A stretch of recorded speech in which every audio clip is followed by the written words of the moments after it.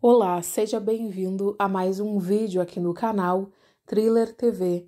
Não esqueça de avaliar o vídeo e se inscreva aqui abaixo se ainda não está inscrito. Segundo informações divulgadas por diversos portais de notícia, uma menina de apenas um ano e cinco meses faleceu em Manaus. A família acusa o hospital que prestou atendimento à menina Safira Eloá de um ano e cinco meses, de negligência médica. No boletim de ocorrências do Instituto Médico Legal, a causa da morte consta como natural e infecção das vias respiratórias inferiores. O laudo é contestado pelos familiares que acusam o SPA de negligência médica.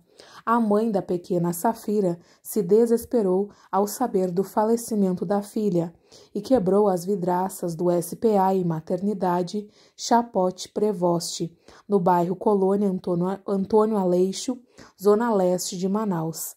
Em nota, a direção do SPA e maternidade disse que a menina deu entrada na emergência da unidade com relatos de tosse, coriza e falta de ar há duas semanas ela foi diagnosticada no primeiro atendimento médico com bronquiolite e saturação de 85%, mas não apresentou melhora na saturação e precisou ser entubada.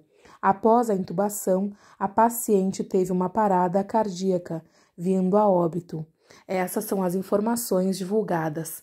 A família luta pela justiça e o SPA se defende falando que, na realidade, a menina faleceu de causas naturais. Eles chegaram a aplicar medicação, pediram autorização da família para que a menina fosse entubada. Isso é o que o hospital diz. Claro que a justiça vai investigar a partir de agora o que de fato aconteceu, porém o hospital diz que os pais não permitiram que a menina fosse entubada e que a saturação dela foi diminuindo até o momento em que, infelizmente, ela não resistiu e veio a óbito. Finalizando mais um vídeo por aqui, deixo os meus sentimentos a essa família nesse momento tão difícil.